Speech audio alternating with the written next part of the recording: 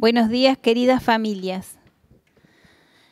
El amor que Dios nos tiene se ha manifestado en el envío de su Hijo para salvarnos. Los caminos del conocimiento de Dios son los caminos del amor. Hoy nos reunimos convocados por Jesús.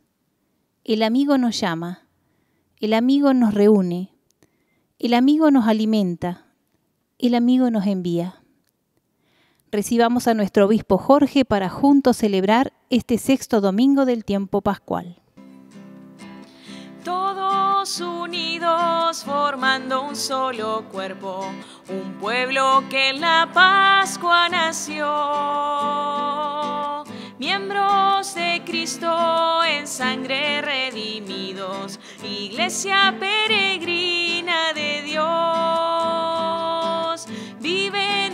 Nosotros la fuerza del Espíritu que el Hijo desde el Padre envió nos impulsa, nos guía y alimenta. Iglesia peregrina de Dios. Somos en la tierra semilla de otro reino. Somos testimonio de amor. Para las guerras y luz entre las sombras.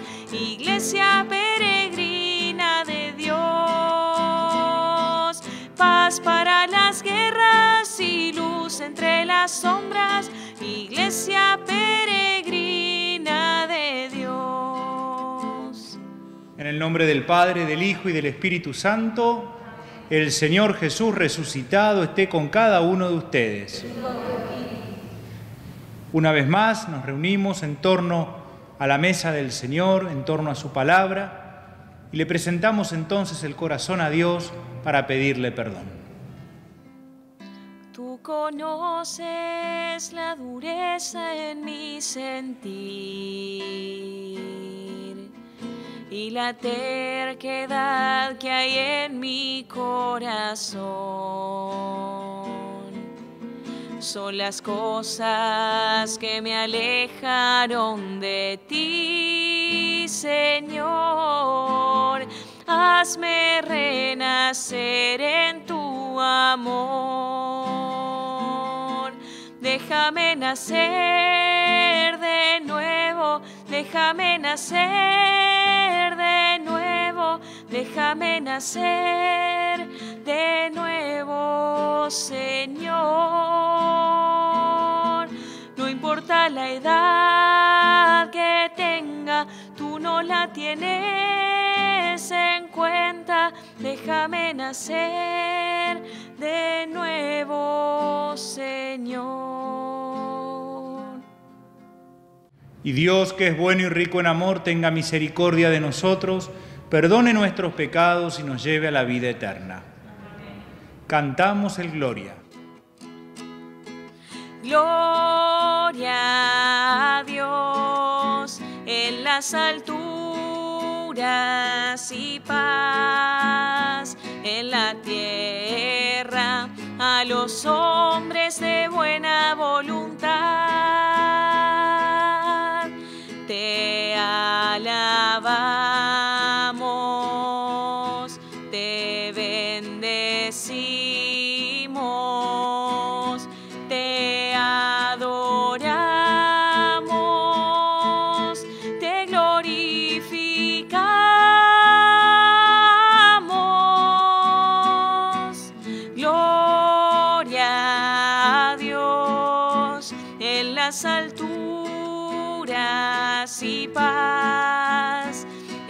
Tierra a los hombres de buena voluntad.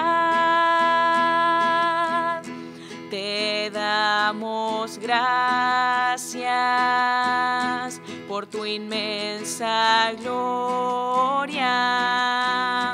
A ti, Dios Padre,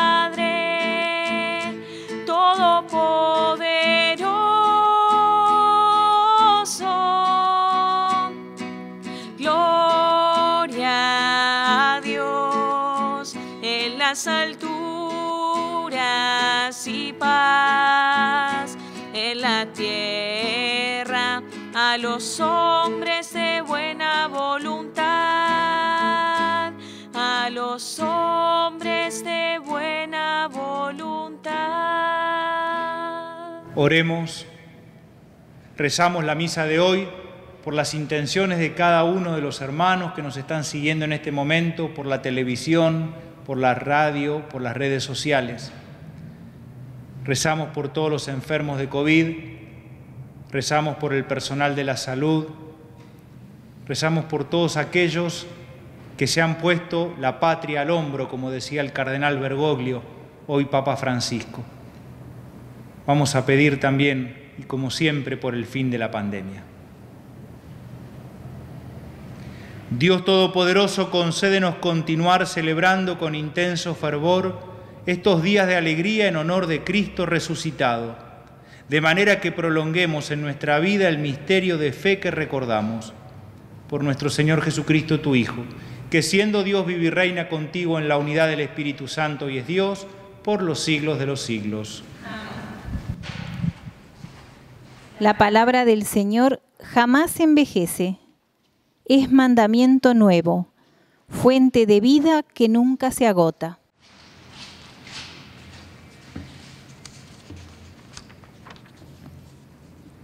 Lectura de los Hechos de los Apóstoles. Cuando Pedro entró a la casa del centurión Cornelio, este fue a su encuentro y se postró a sus pies. Pero Pedro lo hizo levantar diciéndole, levántate, porque no soy yo más que un hombre. Después Pedro agregó, verdaderamente comprendo que Dios no hace acepción de personas y que en cualquier nación todo el que lo teme y practica la justicia es agradable a Él. Él envió su palabra al pueblo de Israel anunciándoles la buena noticia de la paz por medio de Jesucristo, que es el Señor de todos. Todos los profetas dan testimonio de Él, declarando que los que creen en Él reciben el perdón de los pecados en virtud de su nombre. Mientras Pedro estaba hablando, el Espíritu Santo descendió sobre todos los que escuchaban la palabra. Los fieles de origen judío que habían venido a ver a Pedro quedaron maravillados al ver el Espíritu Santo que era derramado también sobre los paganos. En efecto, los oían hablar diversas lenguas y proclamaban la grandeza de Dios. Pedro dijo, ¿acaso se puede negar el agua del bautismo a los que recibieron el Espíritu Santo como nosotros y ordenó que fueran bautizados en el nombre del Señor Jesucristo. Entonces le rogaron que se quedaran con ellos algunos días. Palabra de Dios. El Señor revela a las naciones su justicia. Aleluya. Aleluya. El Señor revela a las naciones su justicia. Aleluya. Aleluya. Canten al Señor un canto nuevo, porque Él hizo maravillas. Su mano derecha y su santo brazo le obtuvieron la victoria. El Señor revela a las naciones su justicia. Aleluya, aleluya. El Señor manifestó su victoria, reveló su justicia a los ojos de las naciones. Se acordó de su amor y de su fidelidad en favor del pueblo de Israel. El Señor revela a las naciones su justicia. Aleluya, aleluya. Los confines de la tierra han contemplado el triunfo de nuestro Dios. Aclama al Señor toda la tierra, prorrumpan en cantos jubilosos. El Señor revela a las naciones su justicia. Aleluya, aleluya. El Señor revela a las naciones su justicia. Aleluya, aleluya. Lectura de la primera carta de San Juan. Queridos míos, amémonos los unos a los otros, porque el amor procede de Dios, y el que ama ha nacido de Dios y conoce a Dios. El que no ama no ha conocido a Dios, porque Dios es amor. Así Dios nos manifestó su amor. Envió a su Hijo único al mundo para que tuviéramos vida por medio de Él. Y este amor no consiste en que nosotros hayamos amado a Dios, sino en que Él nos amó primero y envió a su Hijo como víctima propiciatoria por nuestros pecados. Palabra de Dios.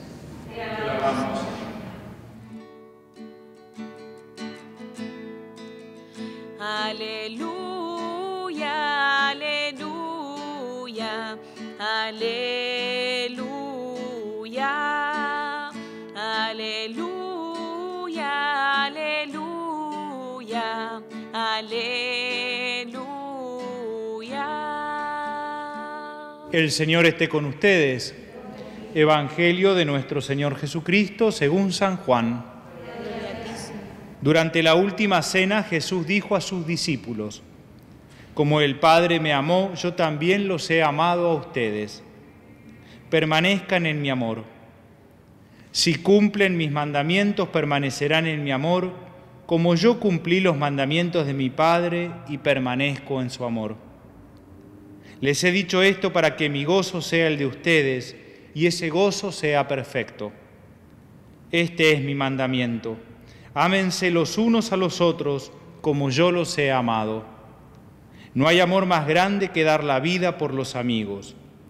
Ustedes son mis amigos si hacen lo que yo les mando. Ya no los llamo servidores, porque el servidor ignora lo que hace su Señor. Yo los llamo amigos, porque les he dado a conocer todo lo que oí de mi Padre. No son ustedes los que me eligieron a mí, sino yo el que los elegí a ustedes y los destiné para que vayan y den fruto, y ese fruto sea duradero.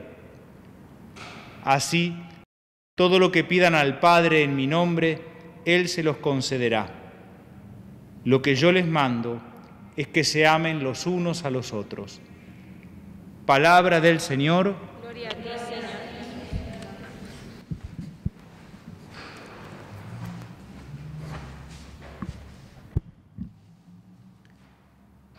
En la primera lectura de este domingo hay un encuentro entre Pedro, el apóstol Pedro, y Cornelio. Cornelio era un centurión pagano, es decir, era alguien que no venía del judaísmo y que en el encuentro entre Pedro y Cornelio, Pedro se da cuenta que el mensaje de Dios es para todos, se da cuenta de que en realidad la buena noticia del Evangelio no tiene discriminación. Y por eso termina Pedro diciendo, Dios no hace acepción de personas. Es decir, para Dios no hay diferencia entre los seres humanos. Esto creo que nos habla de un Pedro que es capaz de abrir su cabeza, de un Pedro que es capaz de abrir su corazón y que de alguna manera encarna aquel documento que leímos hace algunos domingos sobre la paz mundial, sobre la fraternidad, sobre la concordia y la convivencia común que había firmado el Papa Francisco con la autoridad máxima del Islam. Y en uno de sus párrafos decía, el diálogo, la comprensión, la difusión de la cultura de la tolerancia, de la aceptación del otro y de la convivencia entre los seres humanos contribuirían notablemente a que se reduzcan muchos problemas económicos, sociales, políticos y ambientales que asedian a gran parte del género humano. El diálogo entre los creyentes significa encontrarse en el enorme espacio de los valores espirituales, humanos y sociales comunes, e invertirlo en la difusión de las virtudes morales más altas pedidas por todas las religiones. El diálogo significa también evitar las discusiones inútiles.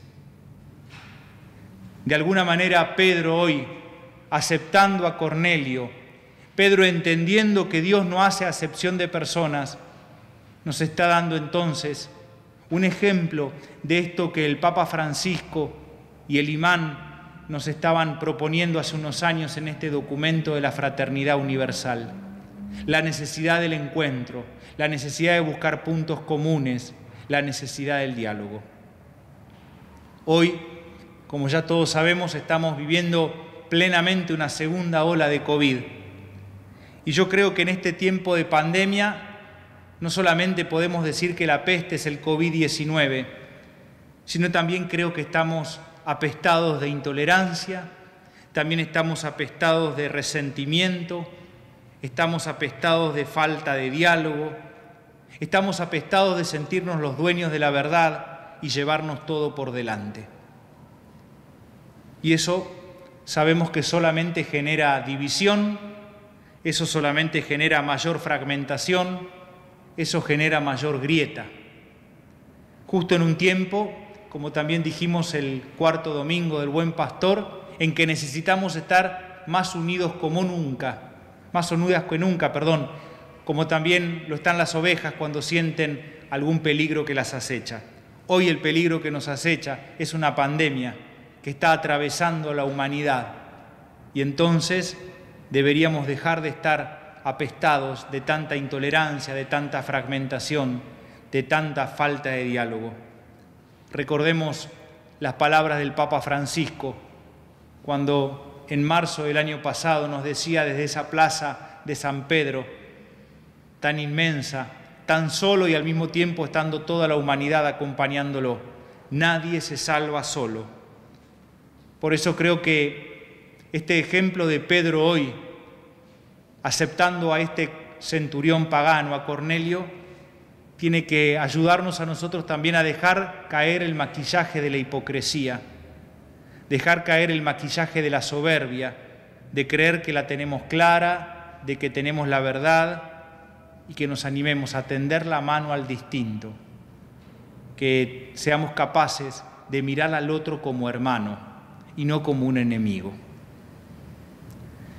Frente a esta pandemia de la intolerancia, de la discriminación, del rechazo del distinto, creo que también hay que buscar la mejor vacuna que genere los mejores anticuerpos. Y la segunda lectura y el Evangelio nos dan el nombre de esa vacuna y se llama el amor, ni más ni menos que el amor. Por eso la segunda lectura insistirá con amémonos los unos a los otros, porque Dios es amor y nos dice, porque Él, Dios, nos amó primero. Y aquí me animo a usar una palabra que inventó el Papa, primerear. Y yo digo, si Dios nos amó primero, quiere decir que Dios nos primerió. Dios salió a nuestro encuentro. ¿Seremos capaces en esta Argentina tan dividida de primerear y de ser los que primero le tendamos la mano al que piensa distinto? ¿Seremos capaces de primerear y perdonar o pedir perdón a aquel con el que tengamos muchas diferencias y hayamos tenido discusiones que se transformaron en heridas? ¿Seremos capaces de primerear y sentar en la misma mesa del diálogo a aquellos que son de otro partido, aquellos que viven y tienen ideas totalmente en las antípodas de las nuestras? El que primerea es el que se anima a dar el primer paso. Dios lo dio con nosotros. Ojalá nosotros, en esta construcción de la fraternidad, en este tiempo tan difícil de la pandemia, también seamos capaces de primerear. El otro día terminaba de leer un libro que salió hace poco y leía una frase que me dejó pensando, que dice así, que es fácil construir desde los prejuicios es fácil construir desde los prejuicios. Yo decía, ¿cómo que es fácil? ¿Y cómo que se puede construir siendo prejuiciosos? Y en realidad después me quedé pensando y efectivamente es fácil construir desde los prejuicios, porque se me hace muy fácil y muy simple la realidad. Divido entre buenos y malos, Divido entre los que quiero y los que no quiero. Divido entre los santos y los pecadores. Divido entre los que tienen la verdad, entre los que seguramente me voy a incluir, y aquellos que viven equivocados. En realidad, es un armado muy simplista de la realidad, que sabemos que es absolutamente parcial, porque la realidad es mucho más compleja, es mucho más diversa. La realidad en realidad me parece que nos está invitando a que todo es mucho más rico en diversidad, en complejidad, no es blanco-negro. Por eso es tan fácil construir desde los prejuicios, porque en realidad veo solamente dos caminos, cuando sabemos que hay muchos más. Personalmente digo siempre que me espantan los que se sienten dueños de la verdad, que incluso hasta me dan un poco de miedo por su intolerancia, pero también creo que aburren un poco porque debe ser aburrido ver todo en términos antagónicos, de pecadores o santos, de negro o blanco, de buenos y malos. Creo que aburre por eso, porque en definitiva la realidad es mucho más que eso. Pedro se da cuenta en la primera lectura, se da cuenta que la cosa no es tan sencilla como la pensaba él, que aparecen gente distinta, que aparece gente diversa, gente que también tiene el Espíritu Santo. Cornelio, un pagano. A Pedro le habrá costado aceptarlo, pero finalmente termina reconociendo que Dios no discrimina. Repito, la gran vacuna parece que es el amor frente a la peste de la discriminación, de la intolerancia y de la falta de diálogo. Y por eso en el Evangelio, capítulo 15 de San Juan, este Evangelio en el cual Jesús en la última cena se está despidiendo de los discípulos, les dice las cosas más importantes. Como hacemos nosotros, que a veces cuando nos estamos por despedir de alguien, en ese momento le decimos que lo queremos mucho, en ese momento le decimos que le agradecemos todo. Uno se queda pensando, ¿por qué no me animé a decírselo antes? Bueno, se lo digo en ese momento, con un abrazo, con un beso. Pero le digo, te quiero tanto, y quizá eso fue lo más importante del tiempo que estuvimos juntos. Pero se lo digo ahí, minutos antes de la despedida. Jesús, minutos antes de la despedida, en la última cena, le dice a los discípulos quizá su mensaje más importante. Y el mensaje más importante es, ámense los unos a los otros. Ámense los unos a los otros. Y le vuelve a repetir, ámense los unos a los otros. Lo que yo les mando es que se amen los unos a los otros. Esa es la mejor vacuna frente a la peste de intolerancia, de discriminación y de falta de diálogo.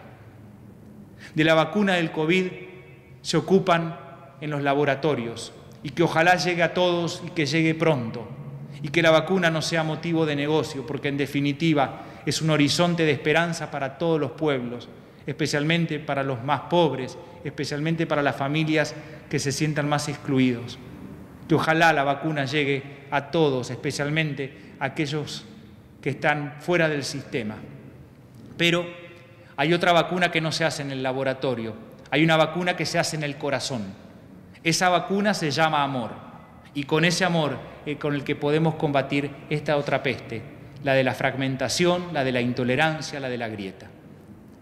El Papa Francisco en su última encíclica, Fratelli Tutti, tiene muchísimos puntos que valen la pena ser leídos. Tan solo voy a leer el punto número 8 como final de la homilía de hoy. Dice Francisco, anhelo que en esta época que nos toca vivir, reconociendo la dignidad de cada persona humana, podamos hacer renacer entre todos un deseo mundial de hermandad. Entre todos. He ahí un hermoso secreto para soñar y hacer de nuestra vida una hermosa aventura.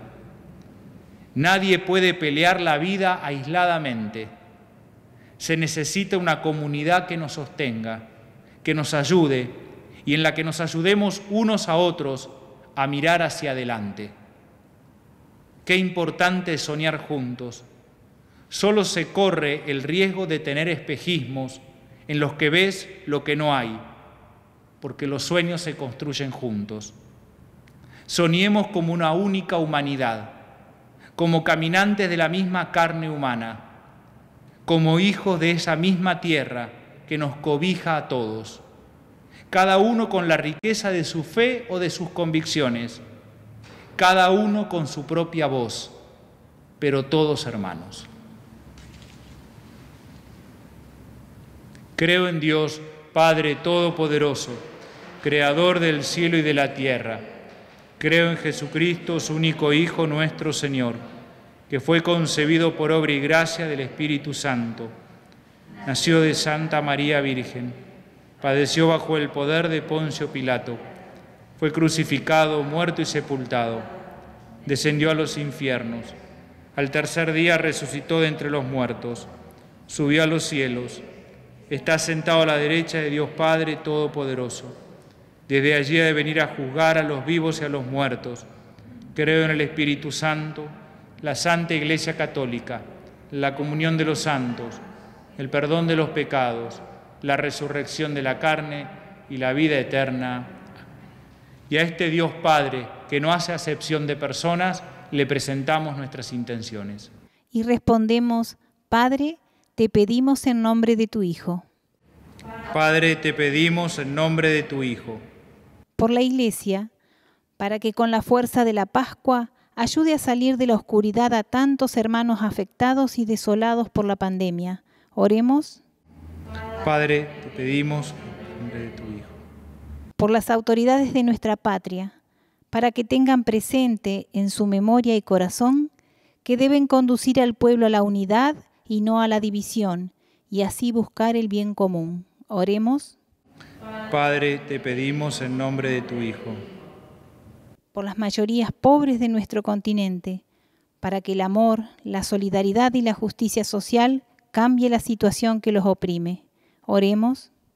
Padre, te lo pedimos en nombre de tu Hijo. Por nuestra comunidad, para que haga realidad el mandato de amarnos los unos a los otros. Oremos. Padre, te lo pedimos en nombre de tu Hijo.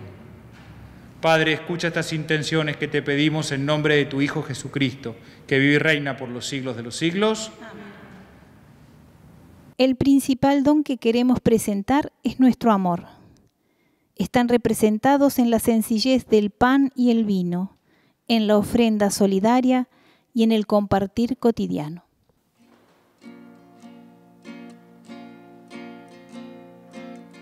Te ofrecemos, Señor, el pan, pan de vida te harás y así juntos podremos ser como hermanos al fin. Es el signo de amor que vos nos pedís.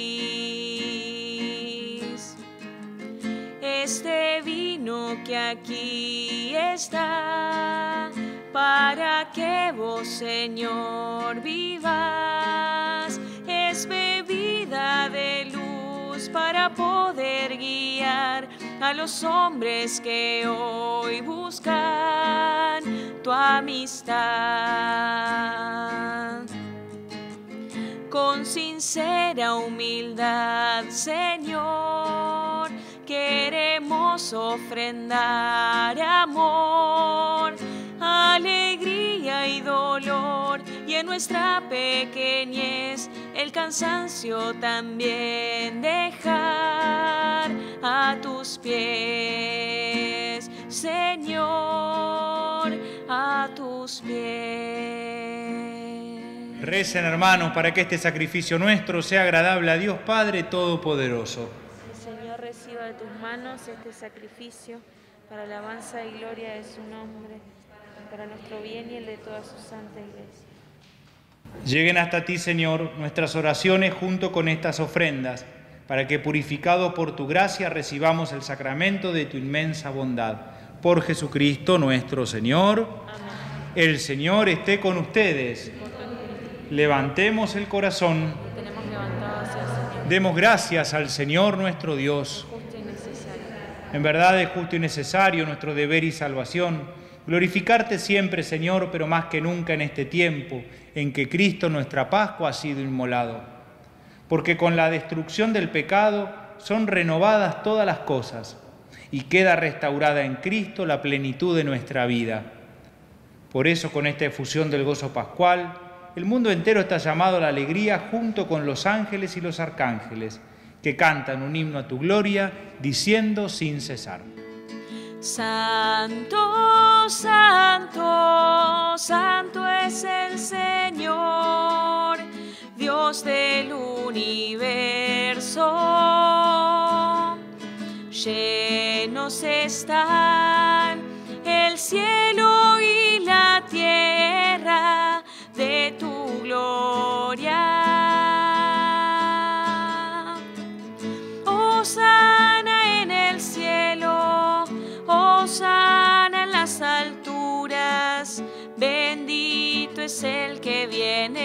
Nombre del Señor.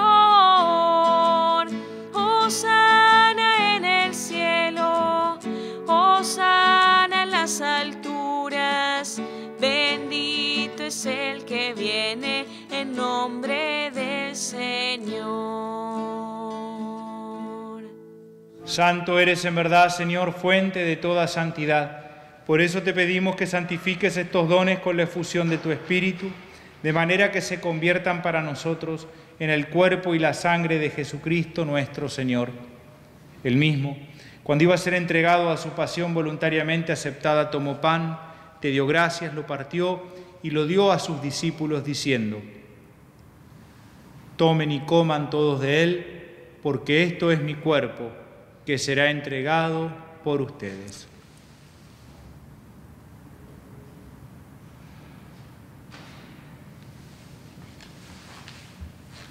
Del mismo modo, acabada la cena, tomó el cáliz y dándote gracias de nuevo, lo pasó a sus discípulos diciendo, Tomen y beban todos de él, porque este es el cáliz de mi sangre, sangre de la alianza nueva y eterna, que será derramada por ustedes y por muchos para el perdón de los pecados. Hagan esto en conmemoración mía.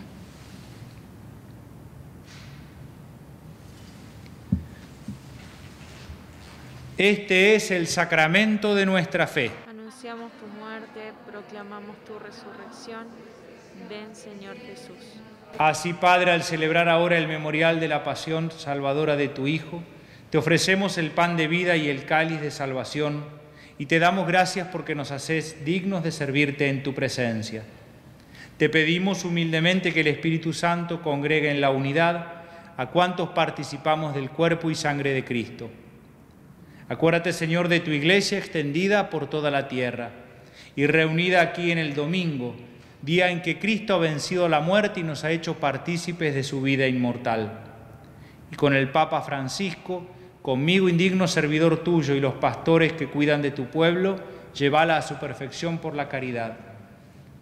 Acuérdate también de nuestros hermanos que se durmieron en la esperanza de la resurrección.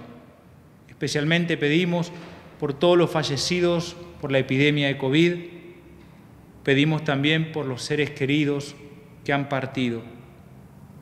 Admítelo, Señor, a contemplar la luz de tu rostro. Ten misericordia de todos nosotros y así con María la Virgen, Madre de Dios, su esposo San José, los apóstoles, San Pedro y cuantos vivieron en tu amistad a través de los tiempos, merezcamos por tu Hijo Jesucristo compartir la vida eterna y cantar tus alabanzas. Por Cristo, con Él y en Él, a ti Dios Padre Omnipotente, en la unidad del Espíritu Santo, todo honor y toda gloria por los siglos de los siglos, queriendo que en nuestro corazón surja de la mano de Dios esta vacuna del amor, para poder vivir este mandamiento del Señor, ámense los unos a los otros, sin hacer discriminación de nadie, sin hacer acepción de personas, como nos decía Pedro, rezamos juntos. Padre nuestro, que estás en el cielo, santificado sea tu nombre, venga a nosotros tu reino, hágase tu voluntad en la tierra como en el cielo. Danos hoy nuestro pan de cada día, perdona nuestras ofensas, como también nosotros perdonamos a los que nos ofenden. No nos dejes caer en la tentación y líbranos del mal. Líbranos de todos los males, Señor y concédenos la paz en nuestros días, para que ayudados por tu misericordia vivamos siempre libres de pecado y protegidos de toda perturbación, mientras esperamos la gloriosa venida de nuestro Salvador Jesucristo. Tuyo el poder y la gloria por siempre, Señor. Señor Jesucristo, que dijiste a tus apóstoles, mi paz les dejo, mi paz les doy. No tengas en cuenta nuestros pecados, sino la fe de tu iglesia. Y conforme a tu palabra, concédele la paz y la unidad. Tú que vives y reinas por los siglos de los siglos, la paz de Jesús esté con cada uno de ustedes. Una vez más nos ponemos la mano en el corazón. Le pedimos al Señor esa paz que nos hace hermanos, esa paz que nos hace tender puentes, esa paz que nos hace descubrir que la diversidad es posibilidad de encuentro, de riqueza, en una humanidad deseosa de fraternidad.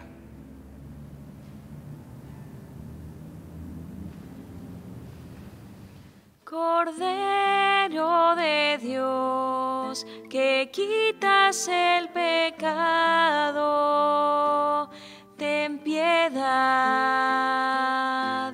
de nosotros. Cordero de Dios, que quitas el pecado, ten piedad de nosotros.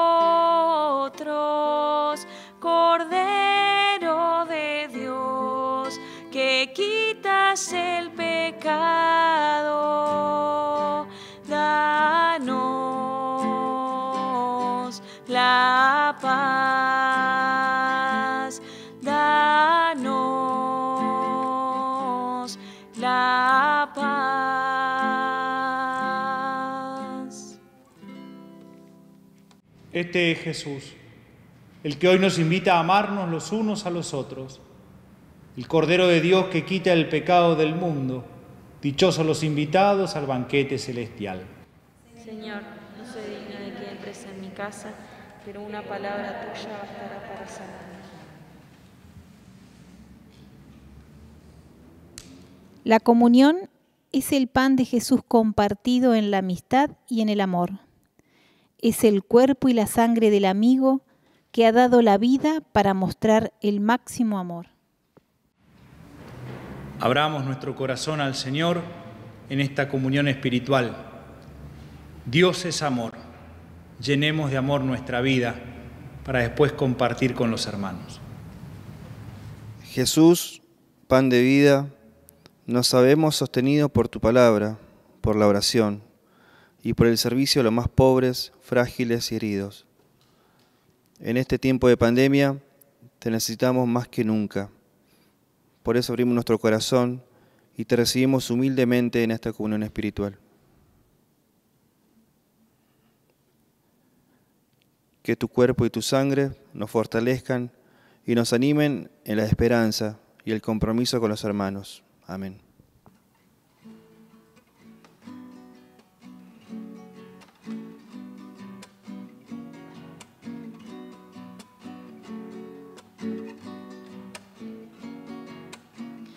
Si hablara palabras de parte de Dios y no tengo amor, de nada me vale, de nada me vale.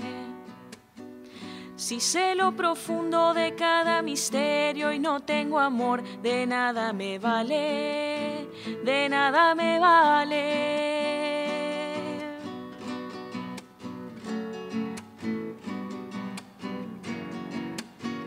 Si hablara palabras de parte de Dios y no tengo amor, de nada me vale, de nada me vale.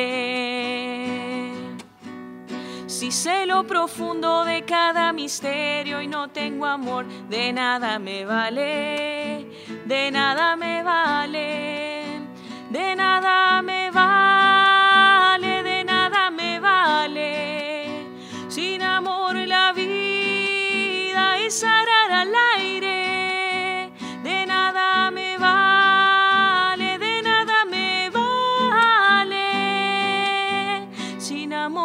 las manos no ayudan a nadie.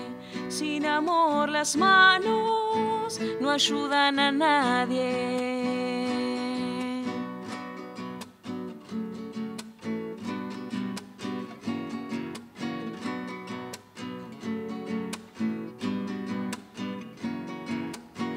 Si tengo una fe que mueve montañas, si no tengo amor, de nada me vale, de nada me vale.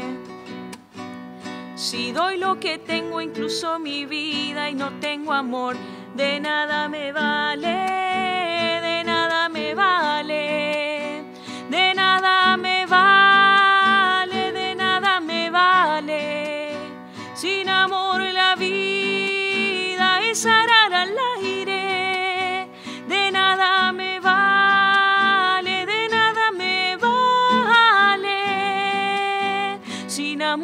las manos no ayudan a nadie. Sin amor las manos no ayudan a nadie. Sin amor las manos no ayudan a nadie.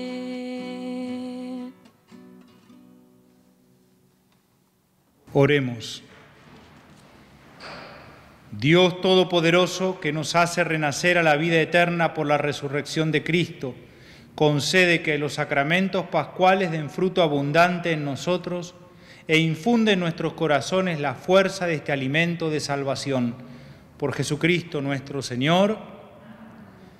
Como reflexión, como texto, una vez más, dejarles, por supuesto, toda la encíclica del Papa Francisco, Fratelli Tutti, pero quizá para reflexionar juntos en familia, personalmente o en comunidad, este punto número 8, este sueño del Papa que lo quiere compartir con todos. El Papa dice, si soñamos solos se corre el riesgo de tener espejismos, pero cuando los sueños se construyen juntos, entonces propone este enorme sueño de la hermandad, de descubrir que más allá de nuestra fe, de nuestras convicciones, más allá de nuestras diferencias, cada uno con su propia voz, todos somos hermanos. Y la gran vacuna frente a esta peste de la intolerancia, indudablemente, es el amor, como también nos decía la canción recién. Y también dejarles una vez más el mensaje del Papa, perdón, el mensaje de los obispos. Eh, los obispos argentinos hemos redactado un documento que se llama Salir juntos y mejor. Salir juntos y mejores. Es esta propuesta de diálogo en esta sociedad argentina también tan dividida y creo que entonces vale la pena ser leído este documento, Salir juntos y mejores, que también lo vamos a poner en nuestras redes junto con este número 8 de Fratelli Tutti. Rezamos antes de irnos, de despedirnos, la oración por los 60 años de la diócesis. Que sería lindo que la tengamos siempre a mano, porque la vamos a ir rezando en todas las misas de los domingos. Lo mismo en las comunidades, pero también en casa, ¿eh? en un papel o si no en el celular. Está bueno tenerla y rezarla juntos. Señor Jesucristo, al celebrar 60 años de la diócesis de Río Gallegos, reconocemos tu presencia en nuestra historia. Queremos darte gracias porque has permanecido con nosotros en la transmisión de la fe y en la celebración de la Pascua, en el encuentro fraterno y la oración de nuestras comunidades, en la solidaridad y el servicio a nuestros hermanos más pobres. Con San José queremos ser una iglesia que sueña con los pies en la tierra, que tenga pastores con olor a oveja, que acoja y defienda a los excluidos y descartables de la sociedad, que tenga un aire festivo y alegre más allá de las dificultades. Queremos ser una iglesia servidora, de puertas y corazones abiertos, que recibe la vida como viene. Una iglesia con animadores de comunidades que comparten la vida cotidiana con el pueblo. Queremos ser una iglesia, lugar de encuentro, casa de fraternidad y fábrica de sueños y proyectos, porque somos herederos de evangelizadores audaces que anunciaron el Evangelio en nuestras tierras con creatividad y pasión. A nuestra Madre María Auxiliadora, a San José y a nuestro patrono San Juan Bosco, confiamos toda la vida de la diócesis. Amén. El Señor esté con ustedes. Que Dios nos bendiga, que bendiga a todos los enfermos, que bendiga al personal de la salud, que bendiga, como dijimos, a todos aquellos que se están poniendo la patria al hombro en este momento tan difícil. Nuestro buen Dios que es Padre, Hijo y Espíritu Santo, nos podemos ir en paz. Buen domingo y buen almuerzo para todos. Muchas gracias. María Virgen del Sur, Madre en el viento, tierra en silencio, toda Jesús, virginalmente pasas y el desierto virginalmente pasas y es fecunda la iglesia,